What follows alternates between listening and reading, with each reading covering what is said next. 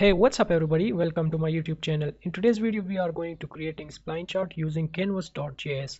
It is a JavaScript library which is mostly used for creating charts like pie chart, line chart, bar chart, etc. So we will be creating spline chart as well as line chart. So let's get started. First of all, we have to install XAMPP server. I have already installed that. Now let's open this. And after that, we have to start our XAMPP server, which is already running. Now let's go to htdocs directory here we will be creating a folder. Let's give it a name. Line chart. Open up. And let's open this in vs code. And that will be code.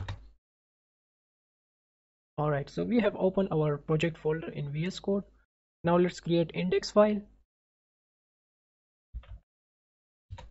Php well we have to create html skeleton let's give it a name. Spline chart. Canvas.js after that we need to connect canvas.js library which you can find from this website. You just have to download and it will download the required files. Let's get back to VS Code. So I have already copied that script file. Let me paste here and save it. Now inside body we need div jumbotron. Inside jumbotron we need div with the id of chart container. All right now we have to add some uh, data from the php so let me add php opening and closing tag. And inside that we need data and which will be equal to an array I have already copied some dummy data from the browser. Let me paste here. You can see we have some coordinates x-axis and y-axis coordinate which we will be using in our chart. Now it's time to add some javascript code. Inside that we need to window. onload. We need to call function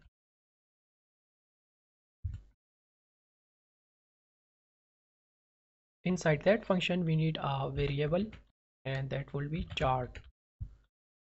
Let's create instance.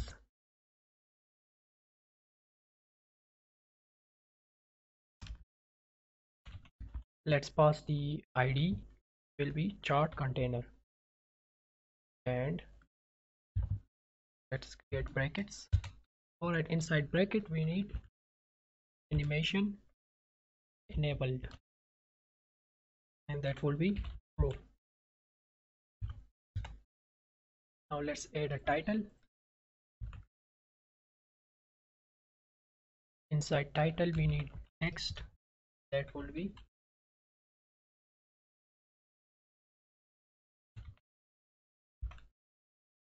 revenue by year. Now after that we need coordinates. X is y. And inside that we need title. Let's add revenue in USD now we need values.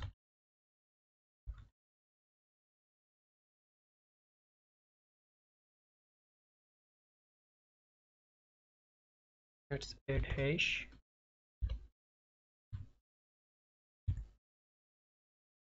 all right after that we need suffix.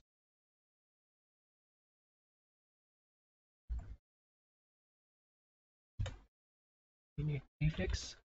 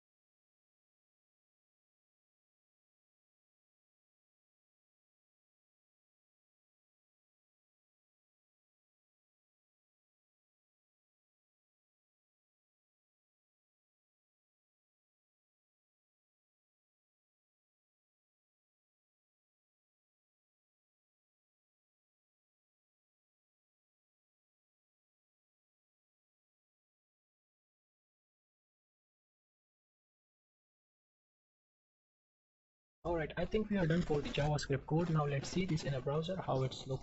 But before checking that uh, in a browser, let's add some CSS. Let me add a file here. That will be style CSS. And let's connect that in.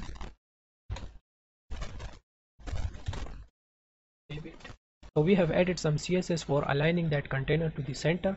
Now let's add this class and that class will be let's add one more thing. H1 that will be.